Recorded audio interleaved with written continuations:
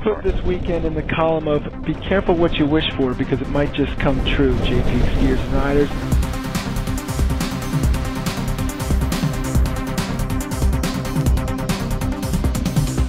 Since the storm started on Friday afternoon, we have picked up 40 inches of new fluff. That's right, 4-0.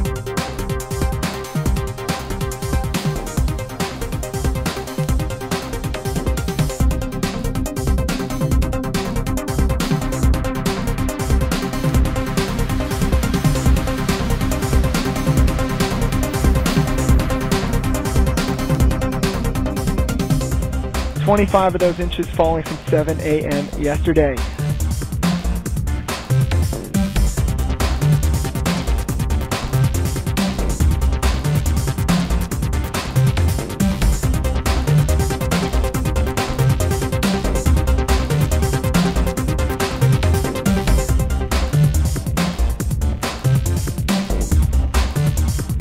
Much has been said about this winter that never was, but that chatter ends today.